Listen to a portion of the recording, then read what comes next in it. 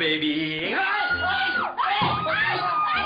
Ay! Anong ginagawa mo dito? Ay, pa, ano ba ginagawa mo? Ano Binigay sa akin ng nanay mo. Ganda niya, bira mga gato sa mga Pilipinas. Collectors, ano? Ng mga Pilipinas. Ito eh.